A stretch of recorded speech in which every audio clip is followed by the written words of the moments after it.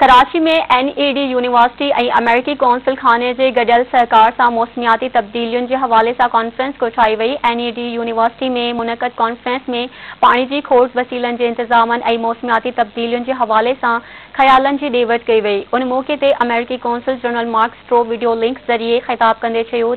मौसमियाती तब्दीलियुनि केतिरनि ही मुल्कनि जिया पाकिस्तान के भी मुतासर किया है हुन सिंध ऐं बलोचिस्तान में पानी की शदीद खोट के नज़रअंदाज़ नथो करे सघिजे अमेरिकी कौंसल जनरल चयो त तालीम ज़रिए मौसमियाती तब्दीलियुनि खे मुंहुं ॾेई सघिजे थो ऐं उन हवाले सां जागरता पैदा करण जी ज़रूरत आहे हुन जो वधीक चवणु हो त हिन साल खे पाकिस्तान सां पंजहतरि साल सिफ़ारती लाॻापनि जो साल करे मल्हाए रहिया आहियूं उन दौरान असां ॿिन्ही मुल्कनि विच में माहौल जी हिफ़ाज़त तालीम खे बहितरु करणु वापारी ऐं इक़्तिसादी तरक़ी वधाइण समेत मसइलनि जे हिकु डिघी लिस्ट ते तावन कयो वेंदो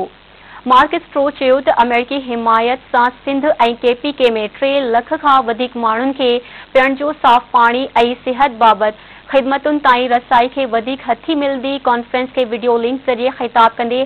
अमेरिकी पाणी माहिर फैलिसिया मार्क्स चयो त मौसमियाती तब्दीलियुनि जे हवाले सां अमेरिकी रियासत कैलिफोर्निया बि उन्हनि मसइलनि जो शिकार आहे जंहिं मसइलनि खे पाकिस्तान या सिंध मुंहुं ॾेई रही आहे उन चयो त रियासत कैलिफोर्निया खे सामुंडी सतह जे हवाले सां मुश्किलातूं आहिनि जड़ जो पाणी बि उते सिंध जीअं ख़राब थी रहियो आहे हीट वेव बि पाकिस्तान जीअं कैलिफोर्निया में वधी आहे अमेरिकी पाणी माहिर चयो त मौसमियाती तब्दीलियुनि खे रोकण लाइ डेल्टा ताईं पाणी पहुचाइण लाज़मी आहे कॉन्फ्रेंस खे ख़िताब कंदे vice chancellor N E D university doctor Sarosh Hashmat Lodhi चयो त मुल्क में पानी खोट जो सबब आबादी में वाध भी है मौसमियाती तब्दील के रोकण लाइ मुस्तकिल बुनियादनि ते पॉलिसियूं जोड़ियूं पवंद